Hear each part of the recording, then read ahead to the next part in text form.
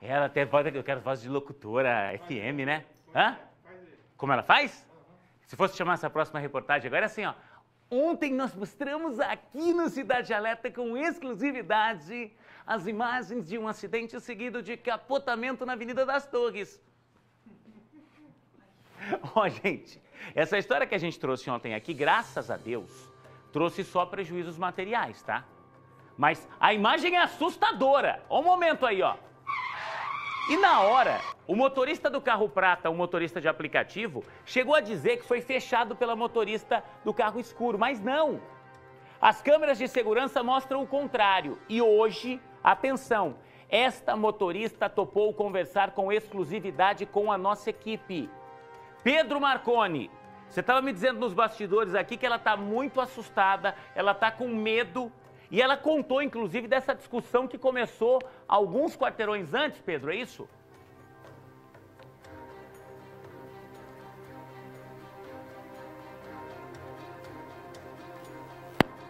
Eu não estou ouvindo o Pedro aqui. Pedro, dá uma olhadinha só no microfone. Tô. Eu não estou conseguindo te ouvir aqui. Bom, acho que agora... Agora sim.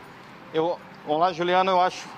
Eu acho que agora você vai conseguir. Agora sim, vamos lá então, retomando eu havia comentado que ela está muito assustada e até com medo de sair de casa por conta de tudo isso que aconteceu e com medo também deste motorista. Ela contou que andava ali com o carro, dirigia o carro pela Avenida Samuel Quinde, tentou acessar o Jardim Alto da Boa Vista, ali pela entrada, e ela não, não reparou que a pista que antigamente era mão dupla se transformou em mão única. E acabou entrando então na contramão. Nisso, esse motorista que aparece nas imagens acaba capotando o carro ele já começou a questioná-la em relação a essa manobra errada. E aí começou uma discussão, ele ia xingando, ela acabou mostrando o dedo do meio e daí então ele passou a perseguir essa motorista até a Avenida das Torres, onde as câmeras mostraram. Ele tentou encostar no carro dela, seja para jogá-lo para o lado, até fazer com que ela capotasse, mas aconteceu ao contrário. Foi esse motorista que capotou.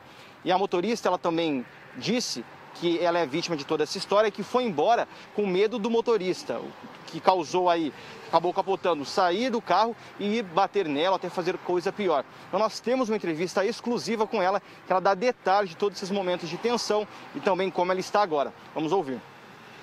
Então, né, eu estava vindo do cinco conjunto e eu precisava entrar na Alto da Boa Vista, que eu ia levar meu carro no mecânico, né?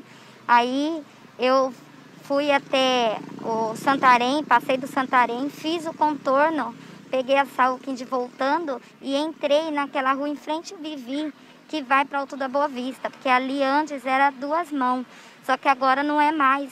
Quando eu me dei conta que eu vi que era contramão, aí um cara me, já me fechou logo ali, porque não tinha carro daquele lado, só tinha carro do outro lado, né? Aí ele me fechou, aí eu falei, o que foi? Daí ele, você tá na contramão, que não sei o quê. Aí eu falei assim, não, eu não quero. É, eu, eu peguei e falei para ele, ai moço, desculpa, eu vou retornar. Daí ele falou, não, não, dá ré, dá ré. Eu falei, não, não vou dar ré, porque eu tava, se eu desse ré, eu ia pegar os carros que estavam na Saúde 15, né? Falei, não, não vou dar ré, eu vou retornar, eu vou fazer um contorno aqui. Aí os outros carros até deu um espacinho para mim passar. Daí quando eu passei, ele continuou me xingando, falando um monte para mim. Aí eu peguei e mostrei o dedo para ele, porque ele estava me xingando, né? E daí nisso ele ficou furioso, ali mesmo ele já girou o carro com tudo e começou a me seguir. Quando eu percebi que ele estava muito nervoso, eu falei, esse cara vai me matar. Aí eu acelerei meu carro, entrei na rua e peguei a, a Avenida das Torres. Aí eu comecei a correr e quanto mais eu corria, mais ele corria. Eu acredito que nós dois estava 100 por hora, entendeu? E daí eu comecei a correr e pedindo para Deus que esse homem não me matasse, porque eu achava que ele estava até armado. Falei, meu Deus, esse homem é um bandido, ele vai me matar, Senhor. E eu comecei a correr, correr, correr. E ele não parava de correr atrás de mim. E aí, quando eu ia virar, para Antônio Siste, ele conseguiu me alcançar e bateu com tudo no meu carro.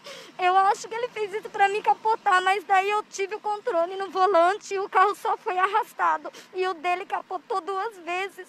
Aí quando meu carro parou, que eu vi, eu olhei pelo retrovisor, eu vi ele me olhando ainda. Daí eu falei, esse homem vai descer do carro e vai me matar, meu Deus, eu tenho que sair daqui.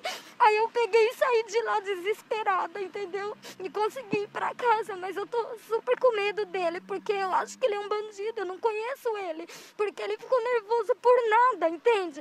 Então eu tô com muito medo dele, dele me, me matar ainda. E aí eu nem fui pra polícia nem nada, porque ele pode ainda fazer um mal pra mim, entendeu?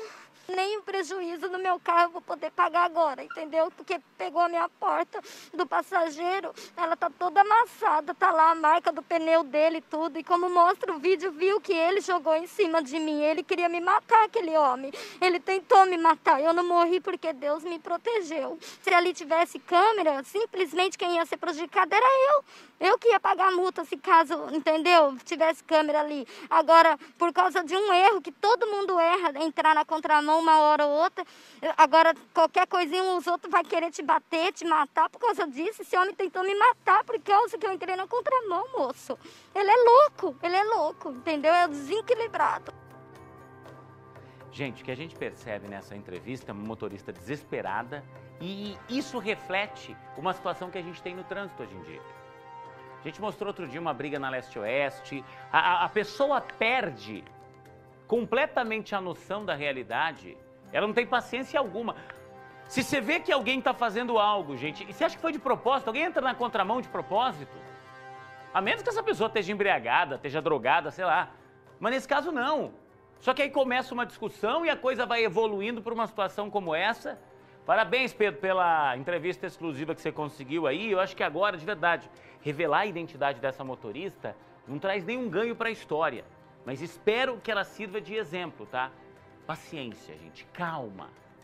A vida já tá tão difícil. Se a gente começar a levar tudo a ferro e a fogo, pelo amor de Deus, tá? Valeu, Pedrão. Até daqui a pouco.